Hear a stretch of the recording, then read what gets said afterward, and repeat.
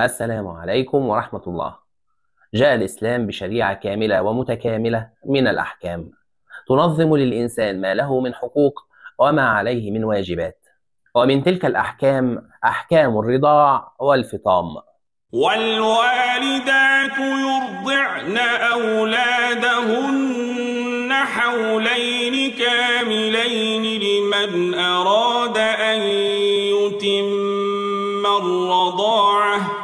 وعلى الوالدات أن يرضعن أولادهن مدة سنتين كاملتين لمن أراد أن يتم الرضاعة وهذا هو الرضاع الذي ينبت فيه اللحم وينشز فيه العظم.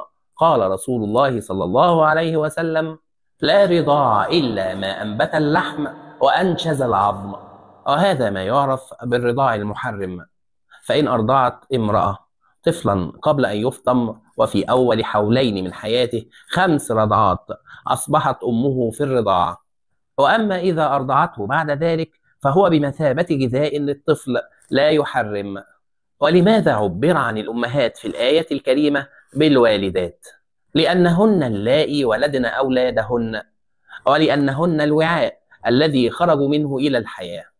ومنهن يكون أفضل وأنسب غذاء طبيعي لأولادهن. ورغم أنه أمر فقد جيء به في سورة الخبر لأنه أمر متقرر بالفطرة السوية السليمة. ولكن هل هذا الأمر على الوجوب أم على الندب والاستحسان؟ يكون على الندب إذا توفرت ثلاث شروط. قدرة الأب على استئجار مرضعة ووجود مرضعة وقبول الطفل الرضيع للبن غير لبن أمه.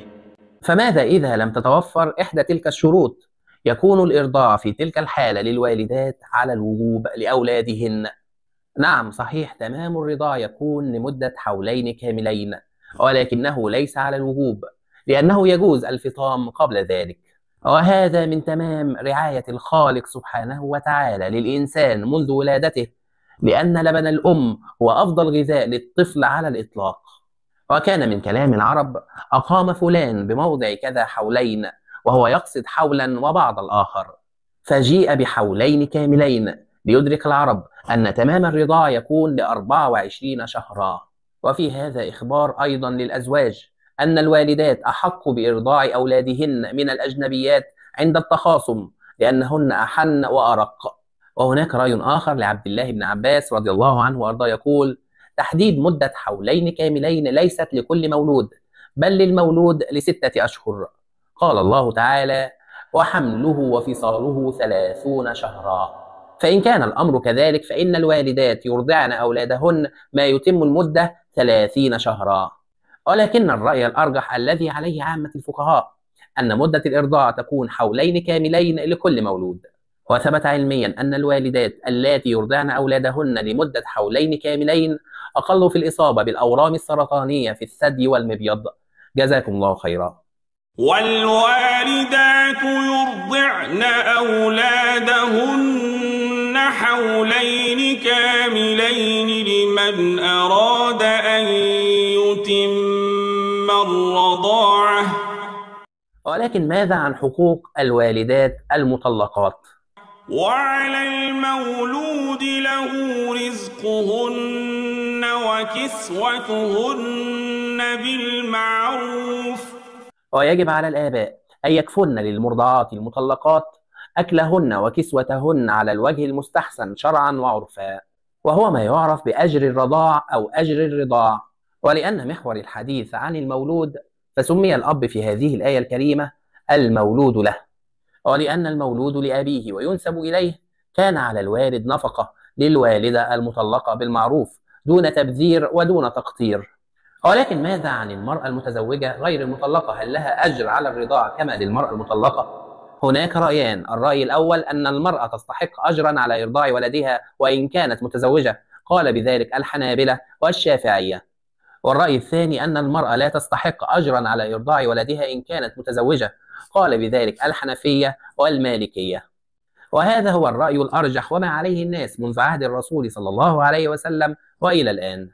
لا تكلف نفس إلا وسعها. لا يكلف الله نفسا إلا قدر طاقتها. فلا يكلف الله الفقير أن ينفق نفقة الغني. وهذا مقصد من مقاصد الشريعة اليسر لا العسر. وكذلك لا تكلف الوالد المطلقة الصبر على التقصير في الأجر. وهذا من تمام رحمة الله بعباده. لا تضار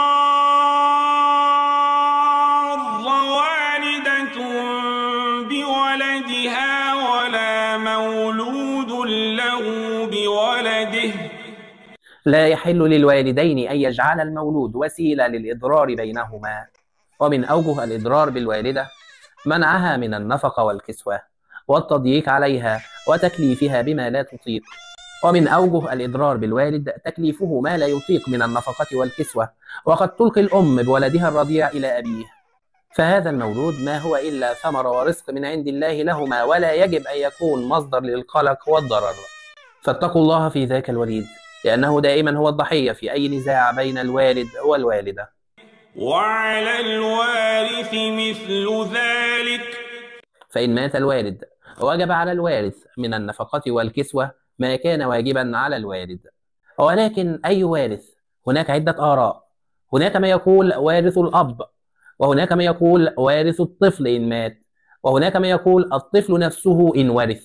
فالأمر فيه سعة. وكل ينفق على قدر استطاعته. وبالتأكيد هذا من صلة الرحم الواجبة. جزاكم الله خيرا. وعلى المولود له رزقهن وكسوتهن بالمعروف. لا تكلف نفس إلا وسعها. لا تضار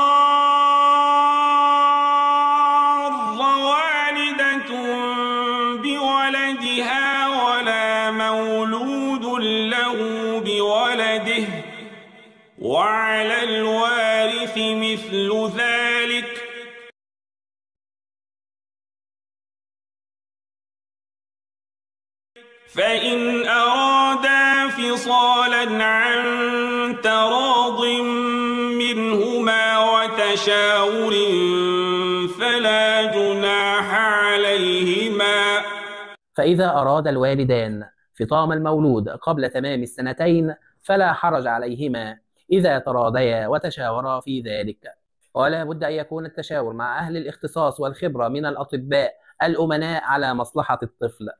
والفصال هو الفطام والتفريق بين الطفل والثدي ولا يكون الفطام إلا بموافقة الأب وموافقة الأم ورأي الأطباء الأمناء. فإن أصرت الأم على الفطام دون موافقة الأب أتمت إرضاع حولين كاملين. وإن أصر الأب على الفطام دون موافقة الأم أتم الإنفاق والكسوة لمدة حولين كاملين. وإن اتفق الوالدان على الفطام ورأى الأطباء الأمناء أن في ذلك خطورة على الطفل أتم الإرضاع والإنفاق لمدة حولين كاملين. وإن أردتم أن تسترضعوا أولادكم فلا جناح عليكم إذا سلمتم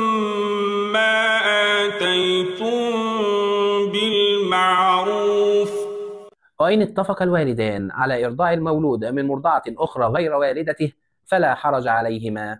وذاك إذا سلم الوالد للأم حقها وسلم للمرضعة حقها بالمعروف. والمعروف هو السائد الذي يقره الشرع والعرف والعقول السليمة والراجحة. ويجب إعطاء المرأة المرضعة أجرها وأن تكون راضية بهذا الأجر حتى تقوم بما عليها من إرضاع وعناية ونظافة للطفل على أكمل وأتم وجه. واتقوا الله واعلموا أن الله بما تعملون بصير. وخافوا الله في جميع أحوالكم وشؤونكم. واجعلوا بينكم وبين غضب الله وعذاب الله وقاية. واعلموا جميعا أن الله بما تعملون بصير. لا تخفى عليه خافية من أعمالكم فهو محصيها عليكم. وسيجازي المحسن بإحسانه. والمسيء بإساءته. جزاكم الله خيرا. فإن أرادا فصالا عن تراض منهما وتشاور فلا جناح عليهما. وإن أردتم أن تسترضعوا أولادكم فلا علمتم ما آتيتم بالمعروف واتقوا الله واعلموا أن الله بما تعملون بصير